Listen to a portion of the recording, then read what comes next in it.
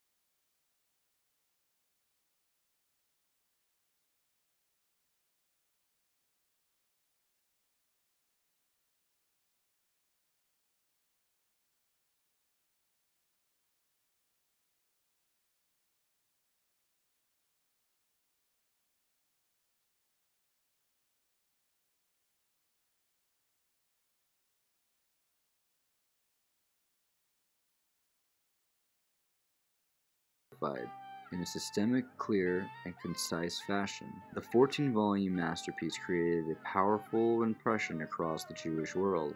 Then, in 1177, tragedy struck. Maimonides' brother David drowned when his ship, fully laden with merchandise, sunk in the Indian Ocean. The brothers had shared a deep bond, and Maimonides grieved terribly for years. David had also been Maimonides' business partner, and this calamity meant financial ruination for Maimonides, who was now forced to become a doctor. His expertise soon caught the attention of the Egyptian ruler Sultan, Saladin, who appointed Maimonides to the position of royal physician. Maimonides also served as the leader of the Egyptian Jewry. He juggled his time between his royal duties, treating private patients, serving as a statesman for the Jewish community, teaching Torah, and discussing medicine, philosophy, and science with his non Jewish audiences. Maimonides described his schedule in a letter to the dear student rabbi Samuel ibn Tibbon of Provence. I live in Fustat, and the Sultan lives in Cairo. I must see him every morning to check on his health. As a rule, I'm in Cairo early each day, and even if nothing unusual happens, by the time I get back to Fustat, half the day is gone. When I come home, my foyer is always full of people Jews and non Jews, important people and not important people, judges and politicians, and policemen. I apologize and ask that they should be kind enough to give me a few minutes to eat. This is the only meal I take in 24 hours. Patients go in and out until nightfall, and sometimes I swear to you by the Torah, it is two hours into the night before they are gone. I talk to them and prescribe for them, even while lying down on my back from exhaustion. On Shabbat, the whole congregation, or at least the majority of it, comes to my house after morning service, and I instruct the members of the community as to what they should do during the entire week. We learn together in a week fashion until the afternoon. This is my schedule. Maimonides' quill hardly saw any rest either. Jewish communities from different lands sought his advice and rulings on Jewish law as well and Maimonides felt compelled to pen yet another literary masterpiece to forestall a developing crisis in Jewish faith. Many Jewish scholars in the Arabic lands had been swept up in the newfound Islamic obsession with Greek philosophy. This left some Jewish scholars deeply disturbed by the apparent intellectual contradictions between contemporary Greco Islamic philosophy and various precepts of the Torah.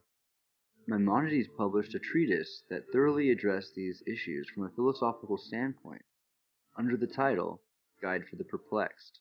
When Maimonides passed away in 1204, the entire Jewish world mourned his passing.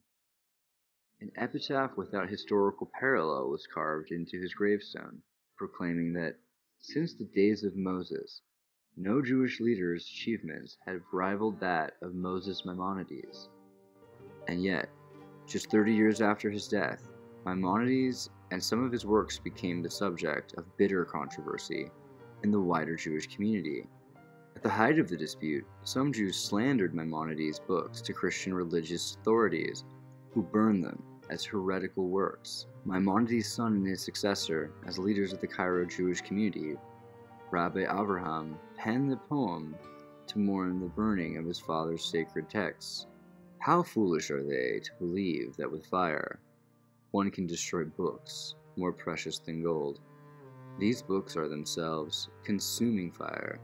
How then then can they perish in the flames? Know you who burn and your arrogant helpers, all is not as it appears. They went up like Elijah to God, and as an angel into the flame.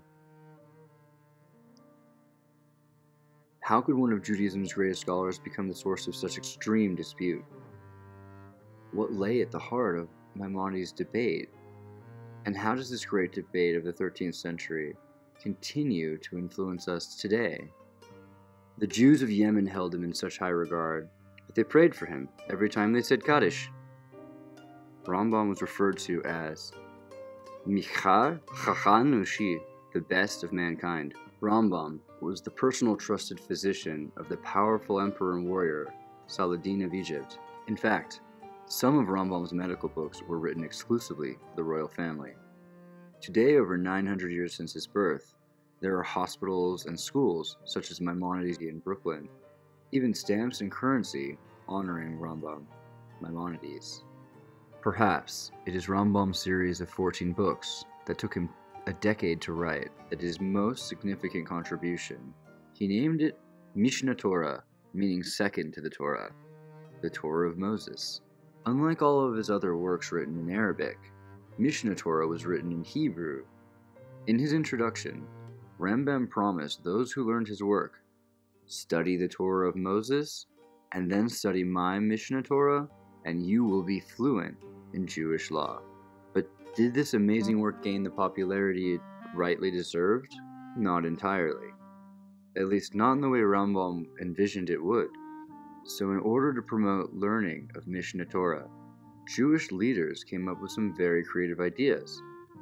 For example, several years after Rambam, Rabbi Tachum Hayir wrote a Hebrew Arabic Mishneh Torah dictionary to assist Middle Eastern Jews who were not very familiar with the Hebrew language in understanding Maimonides. Another resourceful Sephardic rabbi from Turkey in the 17th century by the name of Shlomo ibn Mukhar noticed how people were more interested in songs and poetry than studying the Mishneh Torah. And so Shlomo rearranged the words of the entire Mishneh Torah, thus transforming it into an incredible blend of song and poetry. Shortly after the introduction of the Gutenberg printing press, the Jews of Italy published a sort of Kitzur Mishneh Torah, an abridged version. This single volume made it affordable and accessible for every Jew to study on a regular basis, sort of a Martin Luther for the Italian Jews of his time. But this was only for the Jews of Italy. Despite all the efforts to popularize it, for the past 800 years, the Mishnah Torah has been used mainly as a reference book, a starting point for the hair splitting analysis of the wisest Talmudic scholars. But the Mishnah Torah is a lot more than that. It covers every aspect of life and Jewish life, from morning to evening, from India to Indianapolis to Israel, from birth till death. The prolific Rambam combined the entire corpus of Jewish literature and arranged the laws in a perfectly organized system. Everything was there, and everything had its place. If a Jew had a question in the halacha, Jewish law, he only needed to open the appropriate section and quickly find his answer. Before 1524, this was unheard of. Although, the accepted contemporary halacha does not always follow the ruling of the Mishnah Torah. Learning it provides every Jew with an amazing opportunity to learn Kol HaTorah Kula, the entire Torah, even the laws of the Beit HaMikdash, the Holy Temple. To facilitate learning all of the laws of the Torah, in 1984, the Lubavitcher Rebbe initiated a campaign for every Jew to learn Mishnah Torah on a daily basis.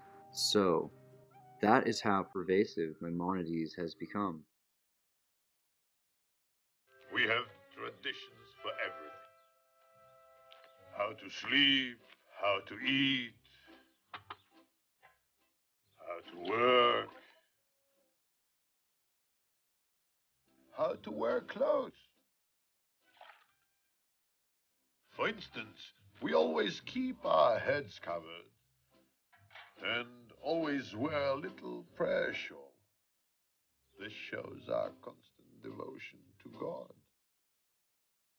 You may ask, how did this tradition get started? I'll tell you. I don't know. But it's a tradition. And because of our traditions, every one of us knows who he is and what God expects him to do. And as Maimonides said, and the world will be filled with the knowledge of God, like the sea is covered with water. Things that you never heard before, and now we're about to get into a conversation that you never heard before on Regis Arterion. Yeah, Regis Arterion.